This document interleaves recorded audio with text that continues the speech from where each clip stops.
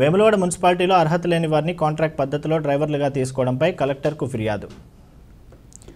Vemulawada municipal పాలకవర్గం ఇష్టారీతన వ్యవహరిస్తుందని దీనిపై రిటర్స్ welfare association అధ్యక్షులు తాళ్ళపల్లి నాగరాజు జిల్లా కలెక్టర్కు ఫిర్యాదు చేశారు. స్పందించిన కలెక్టర్ తగు విచారణ జరుపుతామని హామీ ఇచ్చినట్లు వివరించారు.